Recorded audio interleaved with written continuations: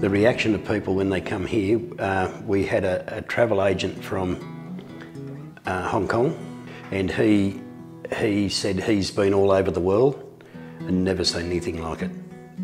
He just said it's superb.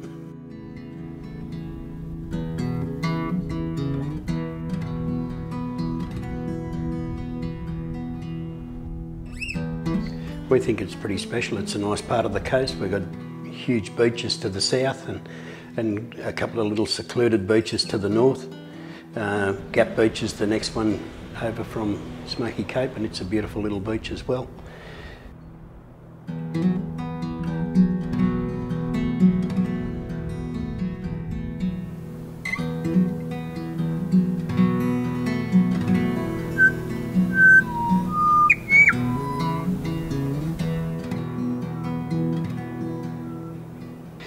It was built in 1891, or commissioned in 1891, uh, designed by James Barnet, built by William Oakes, uh, and finished in on the 15th of April 1891.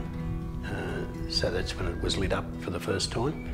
And of course, you had to have your three operators and their families in their cottages uh, because you were so isolated from the rest of the community.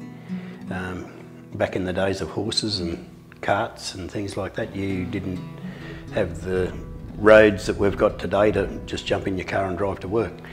So it was, you had to be on site.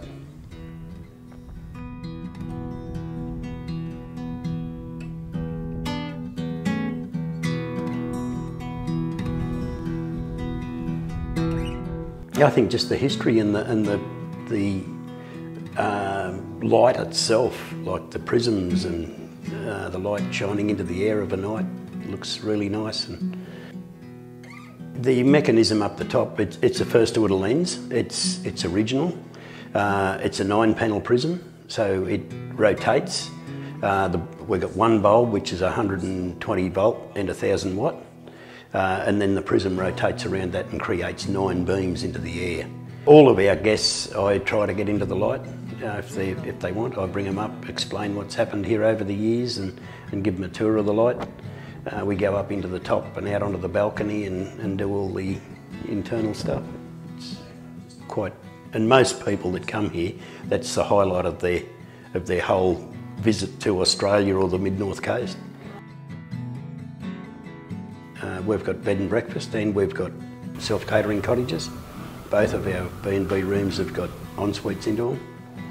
Uh, so you don't need to walk down hallways and things to get to your shower and toilet.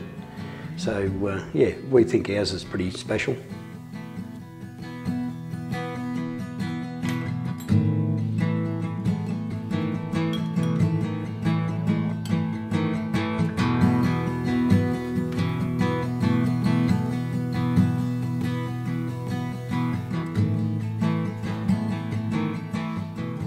It's not so much the isolation of the place, it's, it's the it's the surround, you're surrounded by national parks. It's, we're in Hat Head National Park.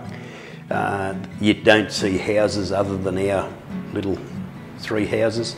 There's nothing to be seen anywhere. You've got all this bushland and the, and the wildlife, um, whales travelling the coast, dolphins, uh, you see the odd shark circling fish on the beaches.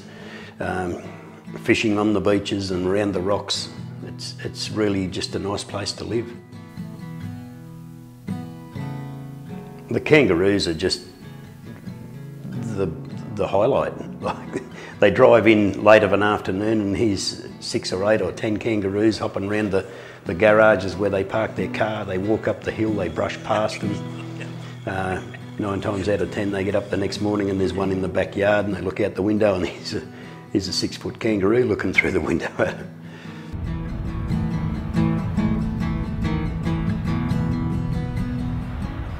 I guess you go, I gauge the, the, the enjoyment of a job as to how quick the time goes. Um, and time flies here. It, it only seems a couple of years since we moved in and it's already, we're into our eighth year. Uh, it's just been unbelievable.